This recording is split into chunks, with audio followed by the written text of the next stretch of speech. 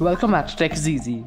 In today's video, I'm going to show you how to add a GIF in a video using InShot Video Editor. For those who already have this app, you've got to make sure that it's updated as this feature has recently come.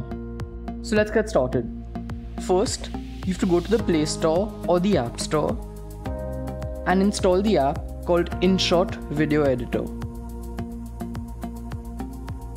So this is the app which you have to install. So now open it and click on video to create a new video. So click on new and now you have to select which video you want to add a GIF to. So you can select any clip from here.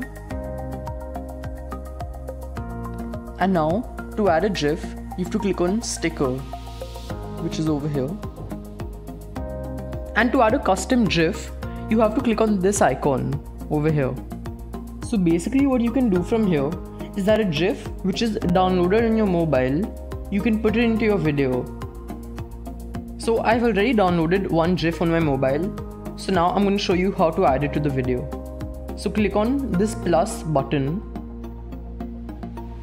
And here you'll get all your pictures and GIFs. So the first one is a GIF. So I'll click on it so you can see that it's come here. So now every time I, I want to add this GIF in a video, it'll automatically be here and you don't have to click on plus every time. So to add it to the video, just click on it and you can see that it has come.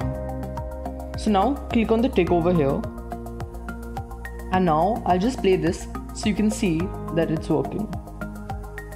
So where you can see that the GIF is moving and now if you want to make any changes to it, just click on it and over here you have many options.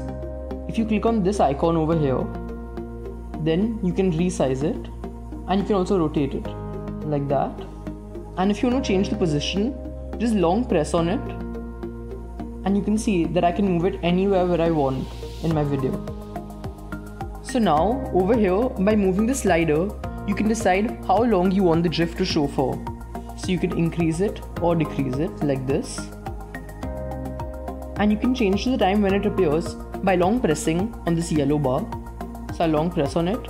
And now I can just move it to say the ending of the video. And if I play it now you can see that it's come at the ending. So I hope this video helped you. And if you have any other questions you can comment down below. And don't forget to hit that subscribe button